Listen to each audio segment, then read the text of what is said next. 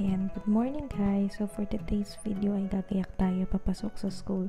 So ayan, naglalagay lang ako ng sunscreen, pang kilay. Yung kilay ko is hindi na ako nagre-retouch so sobrang busy namin sa school. I mean, everyday yan, everyday. So maglalagay lang tayo ng kilay.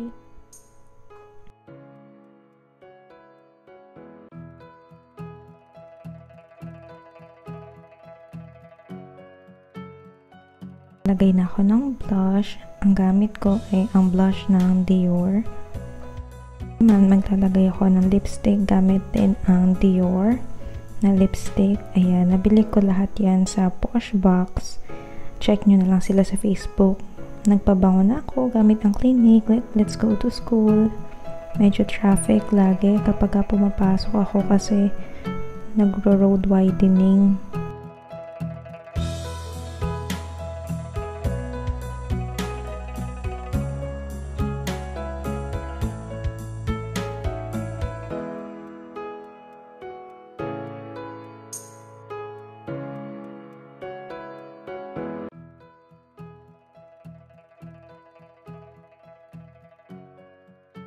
Magdi-disinfect tayo ng classroom, maglilinis, magwawalis, magmamap, magdi-disinfect ng mga tables.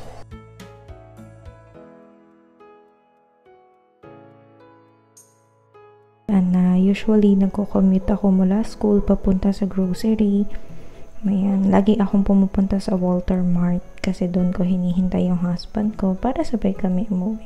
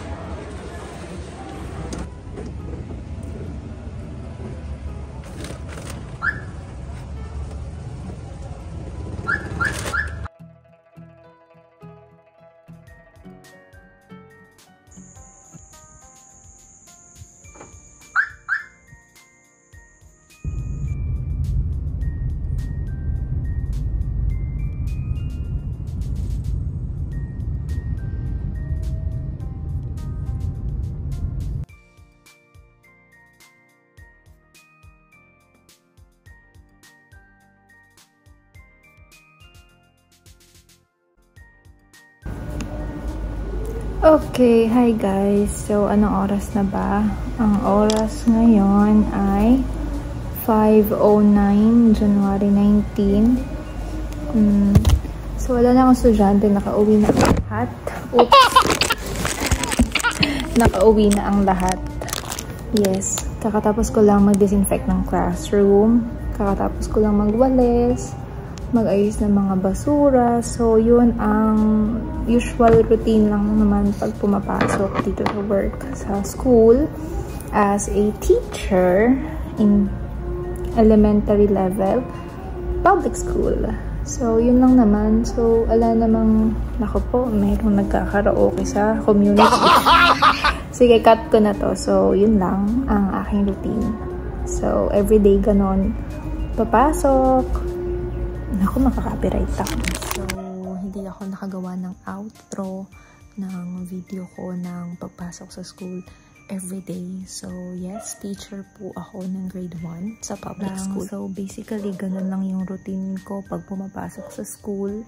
So, una kasi nasa 52 students ko ha, grade 1 sa isang classroom. So, blessed kami kasi nabigyan kami ng additional na teacher. Yun lang, kulang talaga kami sa classroom.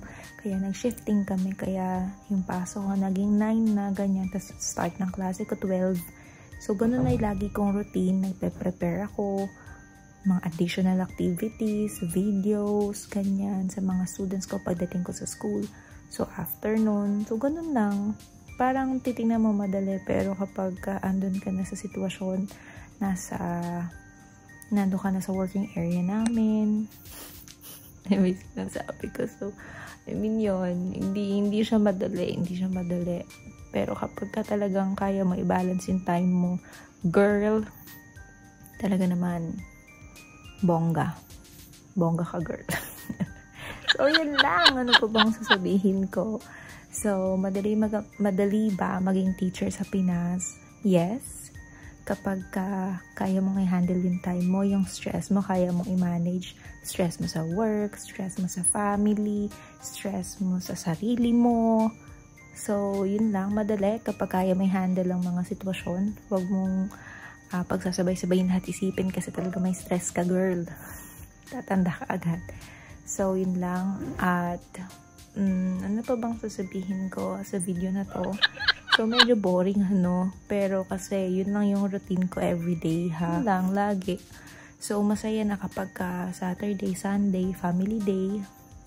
Though, yung husband ko kasi may pasok kapag ka Sabado. So, talaga, Sunday lang talaga yung family day namin. So, yun lang. Thank you for watching. Bye!